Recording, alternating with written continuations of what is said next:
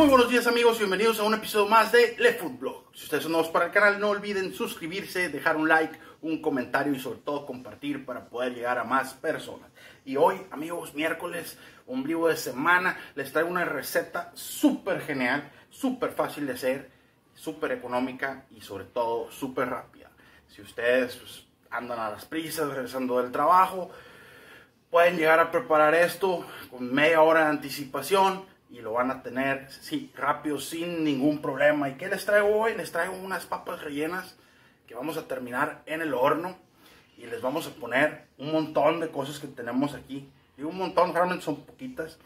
Les presento los ingredientes. Miren, tenemos chistorra, tenemos un filetito de carne eh, que vamos a marinar con aceite y perejil, sal y pimienta. Tenemos tocino picado, tenemos unas papas, mantequilla y es todo lo que vamos a ocupar para esta receta el día de hoy. Está fácil, está rica, está llenadora, está muy elegante. Entonces, lo primero, lo primero que vamos a hacer es, vamos a pasar a poner a cocer nuestras papas, eh, así con todo y cáscara.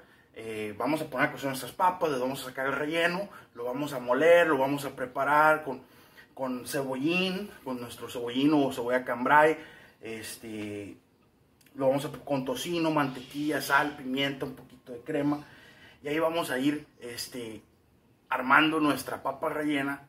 Y luego la vamos a terminar para gratinarla un poquito en el horno con un poquito de queso riquísimo que nos este, compramos en el mercado. Es un queso que ya se los he mencionado mucho, que, que es un queso chihuahua de Jalisco, riquísimo, ¿no?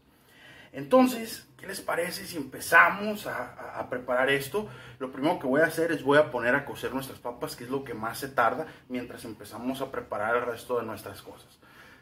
Pongo las papas a cocer y regreso con ustedes en un minutillo.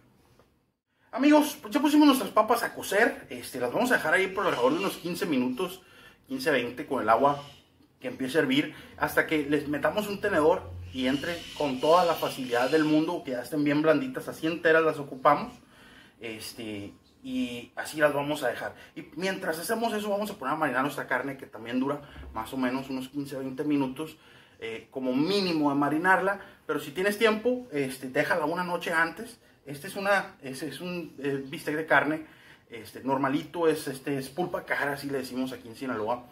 Nomás que yo lo pedí grueso, como de un dedo de grueso más o menos. Y eso es para que al momento de guisarlo nos quede jugosito por dentro. Eh, y como es un corte muy magro, eh, que casi no tiene grasa más que esta colita, vamos a marinarlo un poquito. Le vamos a poner un poquito de aceite, una cucharadita más o menos de aceite, del que ustedes gusten, pueden usar aceite de olivo, pueden usar aceite del que quieran. Yo uso aceite de maíz.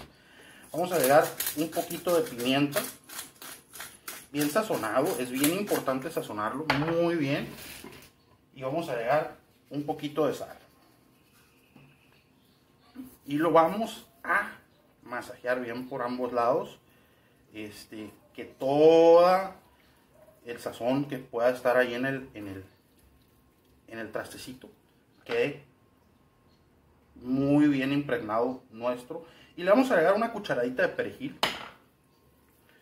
Y por todos lados también, ¿no? Así. Bien, bien marinado, que nos quede bien, que, que todo el perejil, que todo el sabor quede en la carnita.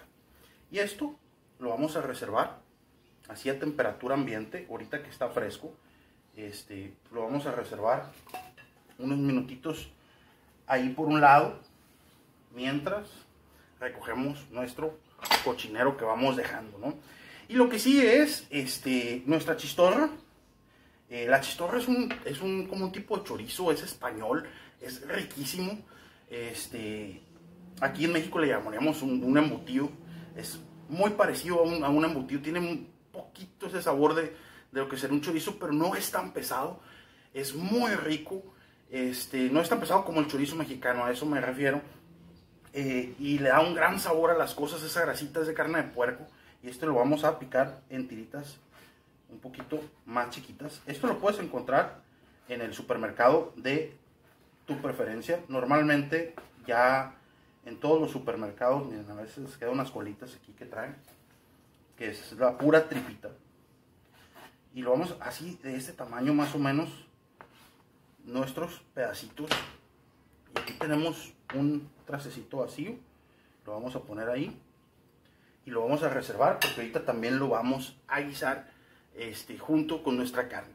Entonces, tenemos también nuestro tocino, que este lo vamos a poner en un sartén de una vez, este, para que suelte toda esa grasita y este, quede jugosito.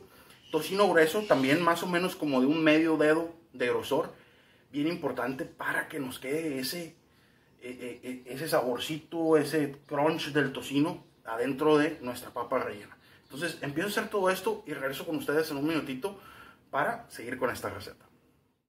Bueno amigos, este, regresamos. Eh, miren, nuestra cebollín, o cebolla cambrai este, o spring onions, como le dicen en algún lado, ya las piqué. Agarré un poco de ambas partes, del frente y de la colita, para darle color y mucho sabor, ¿no? Eh, picado lo más finito posible. Vamos a ocupar un dientecito de ajo, que también vamos a picar finito. Este, todo esto es para darle mucho sabor a nuestro eh, vaya puré que vamos a hacer ahorita para rellenar nuestras papas y que nos van a quedar muy muy elegantes así muy muy finito o no tan finito pues pero finito. Ustedes me entienden. Ya tenemos nuestro queso rallado si escuchan los iseos en el fondo este ya tenemos allá nuestro nuestro tocino este, friéndose que suelte esa grasita porque en esa grasita vamos a cocinar nuestra chistorra y nuestra carne regreso en un momentito con ustedes y empezamos a preparar este merequete. Amigos, como pueden ver, ya tenemos aquí este, nuestra chistorra también. La pusimos en la misma manteca del tocino. Eh, y también la chistorra va a soltar su grasita. Y en eso vamos a este, guisar o, poner nuestro pedacito de carne para nuestras papas rellenas. Entonces, los dejo con esta bella toma. Amigos, ya pusimos nuestro pedazo de carne. Este, vean, en toda esa grasita que quedó ahí le va a dar un sabor genial. Este, ahorita lo vamos a voltear, más o menos lo vamos a dejar como unos 4 o 5 minutos por cada lado para que agarre color, porque como dicen por ahí, sin color no hay sabor. Entonces, no le tengan miedo, déjenlo ahí, que se empiece a caramelizar un poquito por abajo nuestra carne.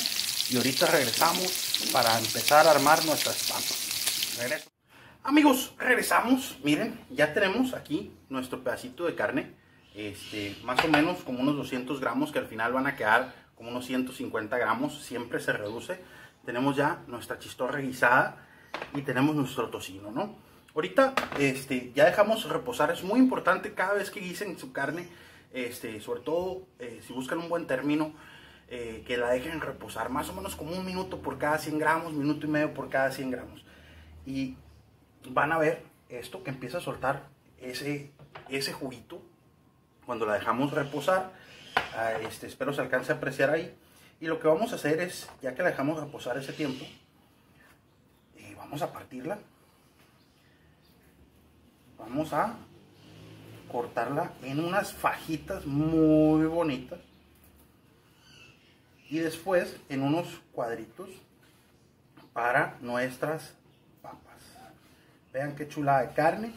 Este, no es tan magra como uno quisiera se me pasó un poquito el término que yo buscaba. Yo buscaba un término tres cuartos, pero este, no está tampoco bien cocida y está jugosita. Yo le dejo ese pedacito de grasa que trae al final porque me, me gusta. Soy gordito, la, la grasita esa le da un muy buen sabor.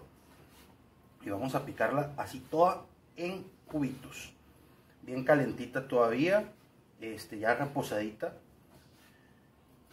y la vamos a reservar para nuestras papas. Nuestras papas ya casi están. Este, y ahorita regreso con ustedes para mostrarles cómo vamos a preparar todo.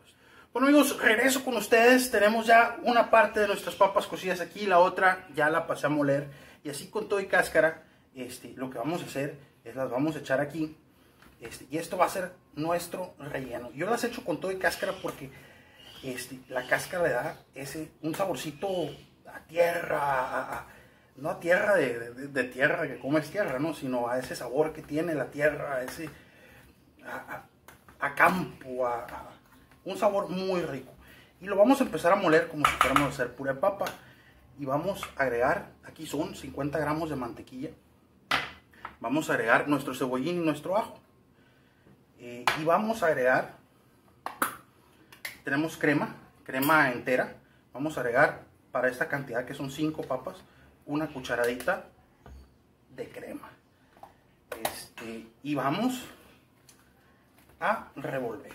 Y empezando a revolver empieza a soltar todos esos aromas ricos vamos a empezar a agregar un poquito de sal para esta cantidad con una cucharadita suficiente porque vamos a agregar tocino eso es bien importante y vamos a agregar una media cucharadita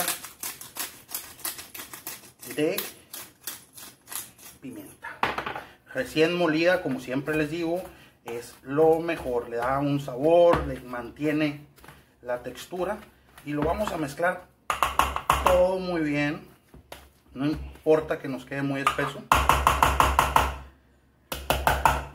Y vamos a notar cómo empieza a soltar todos esos aromas, todo ese sabor. La mantequilla ya está casi derretida y vamos a agregar ahora nuestro tocino.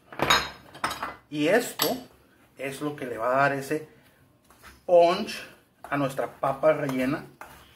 Ahora, si a ustedes no les gusta el tocino, lo pueden hacer sin tocino, no hay ningún problema. Eh, pero esto yo se los recomiendo. Y más o menos así queda un puré de papa con otros ingredientes muy muy rico. Entonces ahorita lo que vamos a hacer en un minutito vamos a empezar en papel aluminio a armar nuestras papas rellenas para meterlas al horno. Entonces regreso con ustedes en un minutito y armamos nuestras 5 o 6 papitas rellenas para hacerlas al horno. Amigos, yo tengo aquí, miren, este, tengo papel aluminio cortado, pero si ustedes no, no lo tienen así cortado, es más o menos como de 30 centímetros por 20 y lo que vamos a hacer es vamos a empezar a hacer como la forma de una papa grande hacerle así como Dios nos dé a entender un circulito y a ir haciendo chiquitas las orillas para que nos quede así como un barquito, una canastita este y esto si ven ahí ya lo vamos a empezar a rellenar con nuestro puré que preparamos. Miren cómo va tomando forma. Si ustedes gustan, este, hacerlo de alguna otra cosa, le pueden poner a la plancha, le pueden poner este, mariscos, camarón, varias cositas. Y vean cómo va quedando nuestra super papota. Hay que asegurarse que todo quede dentro. Y las vamos a ir acomodando en un trastecito como este. Aquí me van a caber dos. Yo ahorita voy a, voy a, tengo otro trastecito de abajo.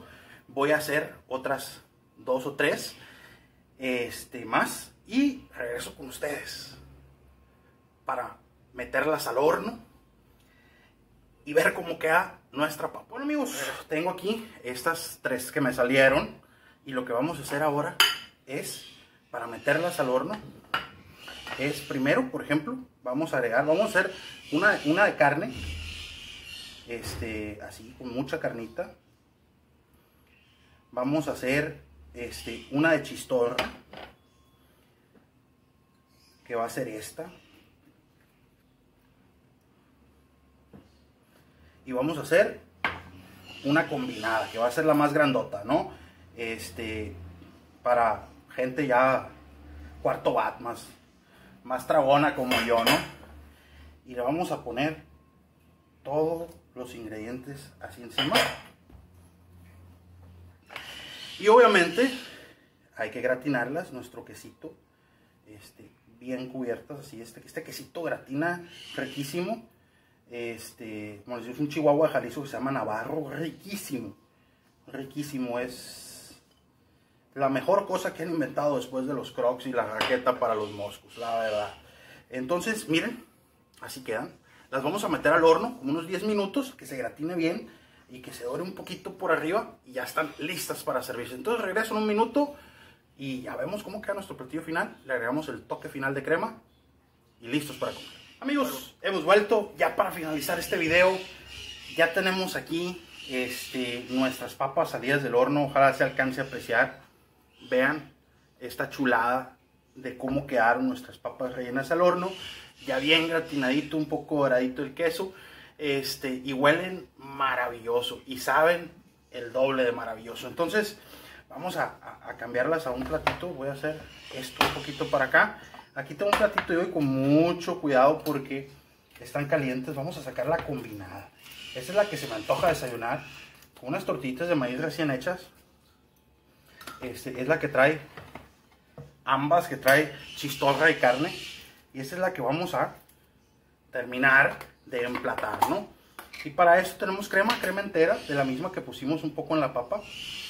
Vamos a ponerle un poquito aquí arriba. Se va a empezar a, a derretir porque pues está bien caliente, ¿no? Recién salido del horno.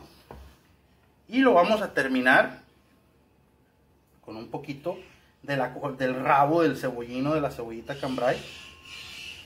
Este, para darle un poquito de color. Y esto, amigos, es una papa rellena al horno. Nos quedó de maravilla, de lujo, y estoy seguro que ustedes cuando la preparen también les va a quedar. Así que anímense a prepararla. Les dejo la receta como siempre en los comentarios. Y sobre todo yo invitarlos a que nos sigan en nuestras redes sociales. Estamos en Facebook, en Twitter, en Instagram. Pasen por ahí. Dejen un follow, dejen un like. Compartan alguno de nuestros videos por ahí. Este, también recordarles que si gustan hacer alguna donación, los links están en la descripción. Son completamente voluntarias y nos ayudan a seguir trayéndoles buenas, chingonas, de lo mejor recetas. Eh, y como siempre, desearles un excelente fin de semana. No olviden suscribirse, no olviden dejar su like, no olviden dejar un comentario y sobre todo compartir. Les digo, desearles un excelente resto de semana. Es miércoles, hay que disfrutar lo que nos queda de semana para llegar a un fin de semana. Les prometo que este fin de semana les traigo postre. Este, por ahí tengo una receta preparada muy elegante. Eh, y sobre todo, si tienen alguna idea de algo que les gustaría ver aquí, déjenos en los comentarios o contáctenos en nuestras redes sociales y con mucho gusto lo programamos y lo hacemos. Me despido, soy el chef Sergio y esto es The Food Blog.